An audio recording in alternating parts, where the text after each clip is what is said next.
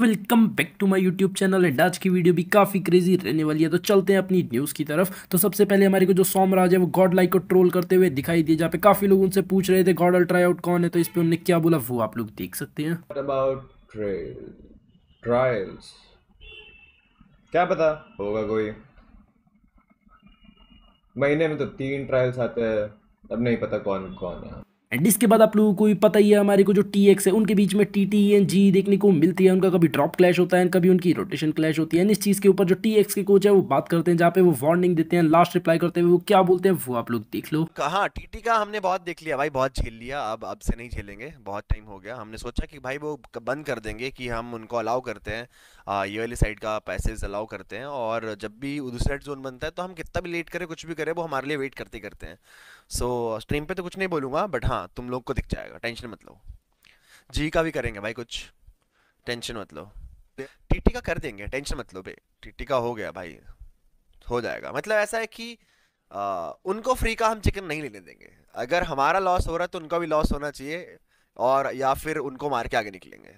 बस ऐसा होगा। ऐसा नहीं होगा कि हाँ हम मरते रहेंगे मरते रहेंगे क्योंकि हमने बहुत ट्राई कर लिया अब चीज़ें नहीं हो पा रही हैं वो नहीं छोड़ रहे वो चीज़ करना।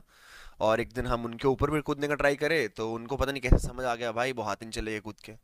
और पैराशूट ही उधर खोला जाके। तो फिर उस दिन बच गए थे। अभी देखते हैं कुछ कुछ ना कुछ कर तो इस चीज़ के ऊपर जो आई फ्लिक है वो रिप्लाई करते हैं। इसकी पॉसिबिलिटी पे उन्होंने क्या बोला वो आप लोग देख लो। अनफॉलो किया। मैंने मैंने क्या बोला था? मैंने मैंने क्या बोला था गाइस मैंने बोला था ना साक्षी एक मेन एग्जांपल है जो मैंने आपको बोला था कि भाई भाई उसने भी स्ट्रीम पे जाके बोला था छोड़ दिया है सब हो चुका है कॉन्ट्रोवर्सी थोड़ा बहुत हो गया था हर एक न्यूज़ चैनल में चाप गया था। और उसके बाद वापस सब कुछ सॉर्ट करके साक्षी उधर ही चला गया, क्योंकि ऑफिशियली कुछ भी अनाउंसमेंट आया ही नहीं है। ठीक है? ऑफिशियली कुछ भी अनाउंसमेंट आया ही नहीं है। तो सेम चीज़ जोनाथन का भी, यार, थोड़ा बहुत अनबन हुआ रहेंगे। यही है सैलरी वगैरह को लेके कुछ हुआ रहेगा, या फिर कुछ ना कुछ एक एक्सवाइजेड चीज़ें हुआ रहेगा, कुछ ना कुछ यू नो उसमें मनी माइनी मैटर भी कुछ हुआ रहेगा, या फिर ऐसे कुछ हो सकता है, पता नहीं। क्योंकि उस हिसाब से थोड़ा बहुत दिक्कत है मैं चल रहा होगा। बट जैसा भी हो यार it's Godlike they are a family they will sort it out and they will come back as a team and जो भी प्रॉब्लम्स है वो लोग सॉर्ट आउट कर लेंगे और वापस आ जाएँगे। मेरे को लग रहा है कि नियो का भी सेम सिचुएशन पे हो सकता है बिकॉज़ नियो भी बहुत जेन्युइन है। नियो का भी बहुत जेन्युइन सिंपल रीजन है, उसको इंस्टॉलमेंट्स भरना है, उसको अपना क्रेडिट कार्ड बिल्स या फिर जो भी है, उसको करना है तो उसके लिए तो यार उसको थोड़ा मेहनत जो भी करता है, उसके लिए थोड़ा इनके इन्वेस्टमेंट तो चाहिए तो वो बस यू नो अनाउंस कर दिया कि भाई मैं अभी पार्ट नहीं हूँ। फ़िलहाल के लिए तो अगर बेटर अपॉर्चुनिटी देख रहे हैं बट इफ़ गॉड लाइक अपना जो भी चीज़ें हैं वापस देने के लिए रेडी हो तो शायद वो चला भी जाएगा bro he doesn't have problem with Godlike at all उसको गॉड लाइक से कभी प्रॉब्लम नहीं है।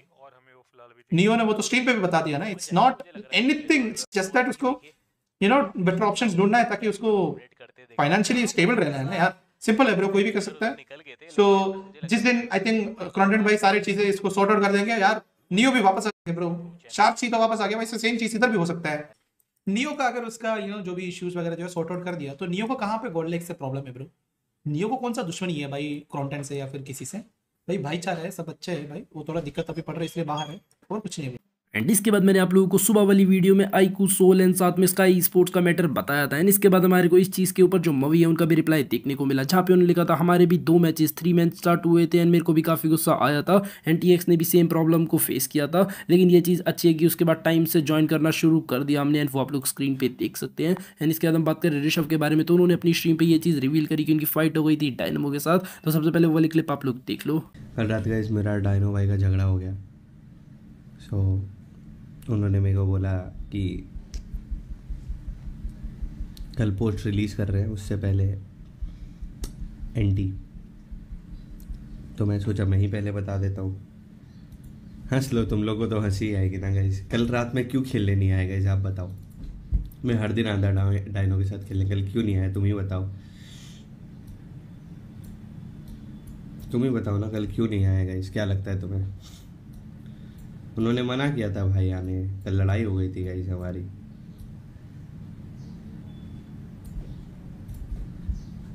तो लास्ट लास्ट में मैं खुद ही आ गया। देखा नहीं, कल गुस्सा भी थे मुझसे। वही। एंड इस क्लिप के अंदर यार इतनी ही सच्चाई है जितनी एनटीटी के फेयरवेल पोस्ट में है, जो सोमराज है, उनके इस मैसेज में चलो गॉड लाइक एंड वो आप लोग स्क्रीन पे देख सकते हैं। तो बेसिकली आप लोगों को भी पता ही आज फ़र्स्ट अप्रैल है तो काफ़ी लोग अप्रैल फुल पोस्ट वगैरह डाल रहे हैं। एंड देखते हैं इसके ऊपर आगे क्या अपडेट हमें देखने को मिलेगी। एंड इसके बाद जो रेगल टॉस है, उनसे काफ़ी लोग पूछ रहे थे कि वो व्लॉगिंग वगैरह क्यों नहीं कर रहे हैं। तो इसके ऊपर वो रिप्लाई करते हुए क्या बोलते हैं, वो आप लोग देख लो। मैंने एक चीज़ नोटिस करी थी, मैं रोज़ व्लॉग डाल रहा था और रोज़ मेहनत कर रहा था ना तो मेरा माइंड ऐसा ना वो हो गया था। मतलब तुम समझो, मैं ऐसा शाम को स्ट्रीम भी कर रहा हूँ रूटर भी कर रहा हूँ, दो जगह स्ट्रीम कर रहा हूँ, फिर व्लॉग डाल रहा हूँ, फिर व्लॉग एडिट कर रहा हूँ। मेरा ना माइंड ऐसा पैक हो गया था और मैं चिड़चिड़ा हो गया था। तो मैं वो चीज़ को अपने ऊपर लाने नहीं दिया तो मैंने बंद कर दिया। क्योंकि सिर्फ़ व्लॉगिंग करो ना तो ईजी है।